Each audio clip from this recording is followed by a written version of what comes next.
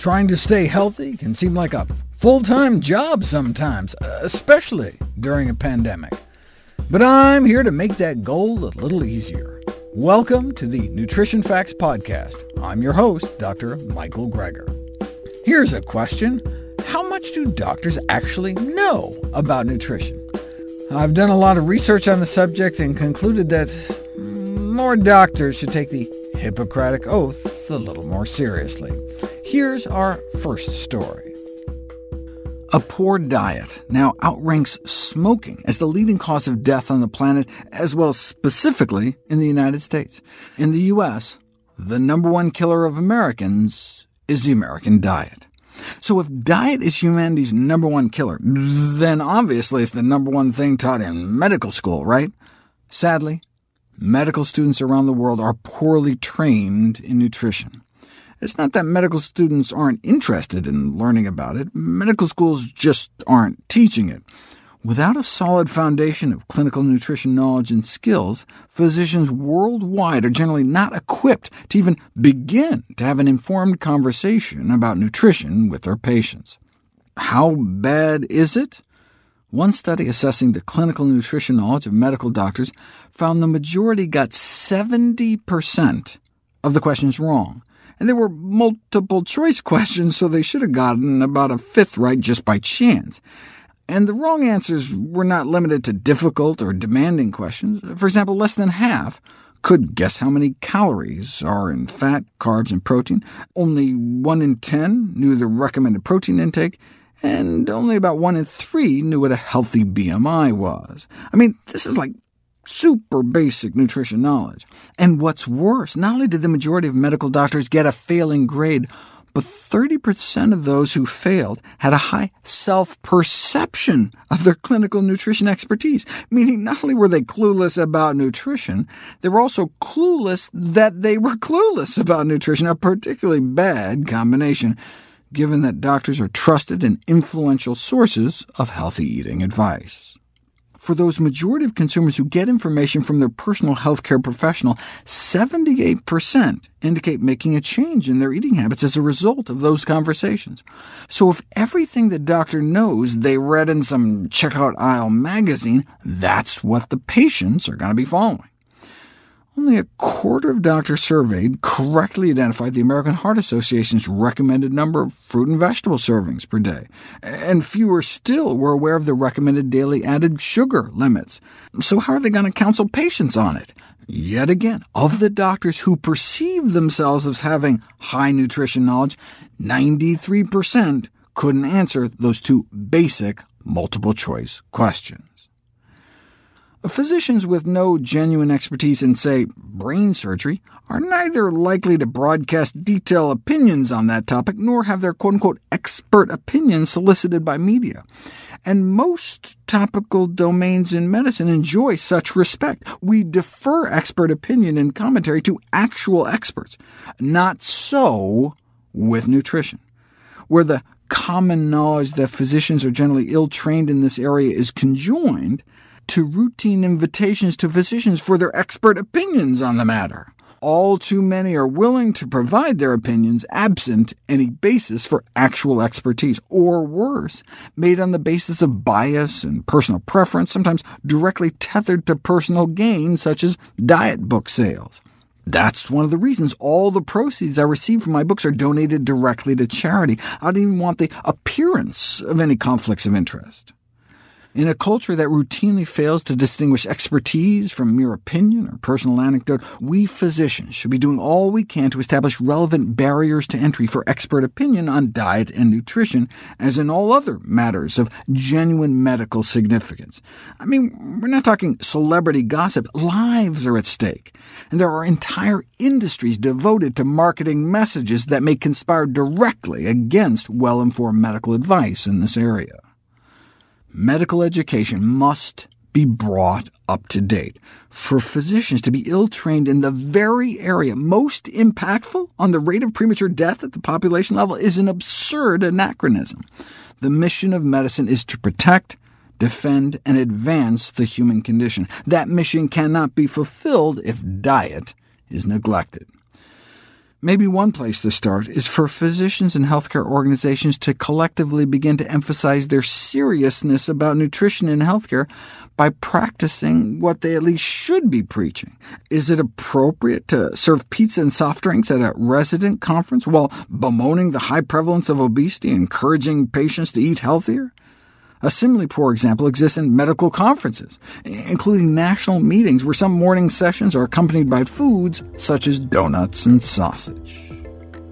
In our next story, we look at how more of us might be open to changing our diet and lifestyle if we knew how little modern medicine has to offer.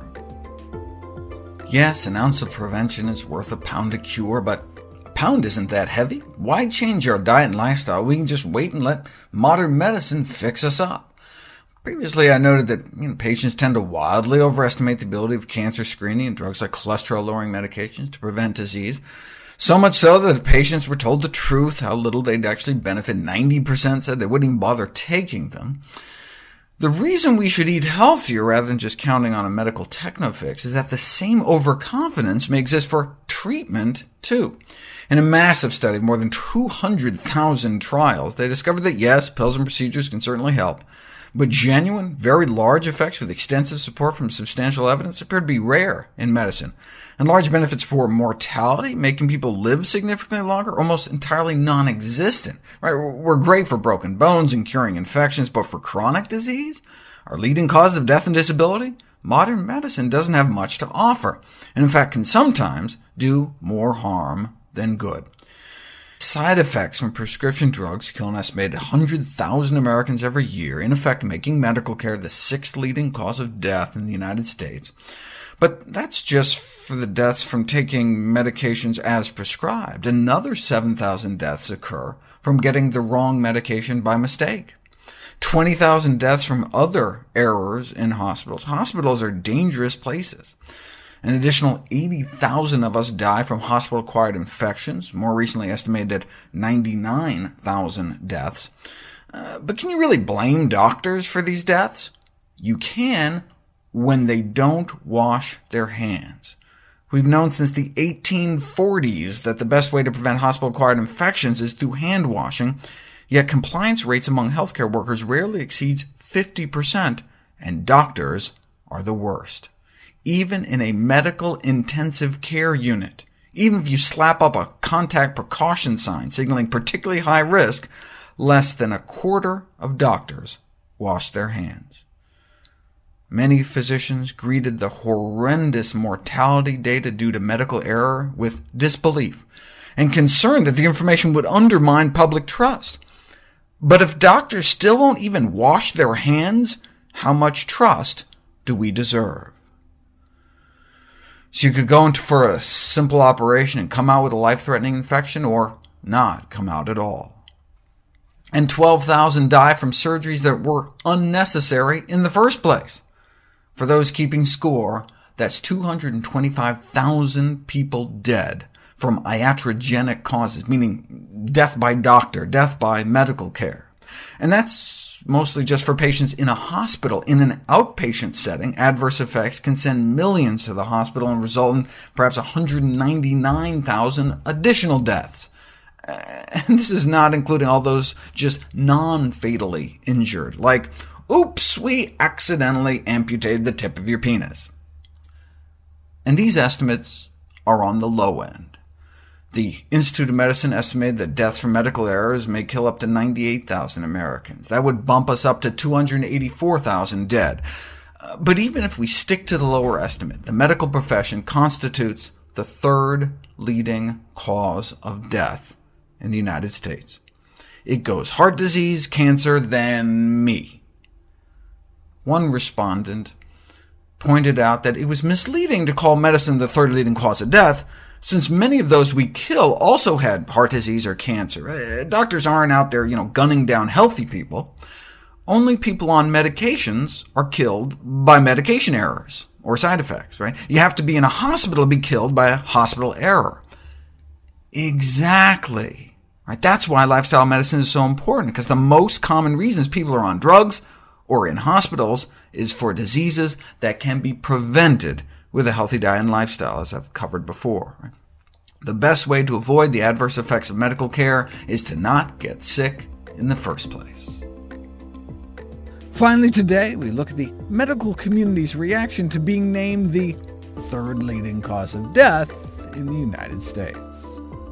Previously, I profiled a paper that added up all the deaths caused by medical care in this country, uh, the 100,000 deaths from medication side effects, plus all the deaths caused by errors, etc., concluding that the third leading cause of death in America was the American medical system. Uh, what was the medical community's reaction to this revelation? After all, it was published in one of the most prestigious medical journals, the Journal of the American Medical Association, by one of our most prestigious physicians, Barbara Starfield, who literally wrote the book on primary care. When she was asked in an interview what the response was, she replied that her primary care work has been widely embraced, but her findings on how harmful and ineffective health care could be received almost no attention. Recalling the dark dystopia of George Orwell's 1984, where awkward facts are swallowed up by the memory hole as if they never existed at all. Report after report has come out, and the response has been a deafening silence both in deed and in word, failing to even openly discuss the problem, leading to thousands of deaths. We can't just keep putting out reports. We have to do something. The first report was in 1978 suggesting about 120,000 preventable hospital deaths. The response? Silence for another 16 years. Uh, you know, if you multiply 120,000 by those 16 years, you get 1.9 million preventable deaths, about which there was near total doctor silence. Silence meaning no substantial effort to reduce the number of those deaths. The Institute of Medicine then released its landmark study in 1999, allowing for another 600,000 deaths to take place. Right? Now, some things have finally changed. Work hour limits were instituted for medical trainees. Interns and residents could no longer be worked more than you know 80 hours a week, at least on paper, and the shifts couldn't be longer than 30 hours long. Now, it may not sound like a big step, but when I started my internship, I was working 36-hour shifts every three days, so that's 117-hour work weeks. What's the big deal? Well, when interns and residents are forced to pull all-nighters, they make 36% more serious medical errors, five times more diagnostic errors, and have twice as many attentional failures. That doesn't sound so bad until you realize that means like nodding off during surgery. The patient is supposed to be asleep during surgery, not the surgeon. Impairing performance as much as a blood alcohol level that would have made it illegal to drive a car, but can still do surgery. So no surprise, 300% more patient deaths. Residents consider themselves lucky if they get through training without killing anyone. Not that the family would ever find out. Doctors, with rare exceptions, are unaccountable for their actions. The Institute of Medicine report did break the silence and prompted widespread promises of change, but what they did not do is act as if they really believe their own findings. For if they really believe that a minimum of 120 people every day were dying preventable deaths in hospitals, um, you'd draw a line in the sand. Like if an airliner was crashing every day, you'd expect the FAA would step in and do something. The Institute of Medicine could uh, you know, insistently demand that doctors and hospitals immediately adopt a, uh, at least a minimum set of preventable, preventive practices, like, uh, you know, for example, barcoding drugs so there's no mix-ups, you know, like they do for even a pack of Twinkies at the grocery store. Rather than just going on to write another report, they could bluntly warn colleagues that they would publicly censor those who resisted implementing these minimum practices, calling for some kind of stringent sanctions, but instead, we get the silence. Dr. Starfield didn't stay silent, but she is unfortunately no longer with us. Ironically, she may have died from one of the adverse drug reactions she so vociferously warned us about. She was placed on aspirin and a blood thinner, Plavix, to keep a stent uh, she had had placed in her coronary artery from clogging up. She told her cardiologist she was bruising more, bleeding longer, but that's the risk you hope doesn't outweigh the benefits, until she apparently hit her head while swimming and bled into her brain. Now, the question for me is not whether she should have been on two blood thinners for that long or had the stent inserted in the first place, but whether or not she could have avoided the heart disease in the first place, which is 96% avoidable in women. The number one killer of women need almost never happen. We would love it if you could share with us your stories about reinventing your health through evidence-based nutrition. Go to nutritionfacts.org slash testimonials, and we may share it on social media to help inspire others. To see any graphs, charts, graphics, images, or studies mentioned here, please go to the nutritionfacts.org podcast landing page. There you'll find all the detailed information you need, plus links to all the sources we cite for each of these topics. For a vital, timely text on the pathogens that cause pandemics, you can order the ebook, audiobook, or hard copy of my latest book, How to Survive a Pandemic. For recipes, check out my even newer book, the How Not to Diet Cookbook. It's beautifully designed with more than 100 recipes for delicious and nutritious meals. All the proceeds I receive from the sales of all my books goes to charity. NutritionFacts.org is a nonprofit, science-based public service where you can sign up for free daily updates on the latest in nutrition research via bite-sized videos and articles.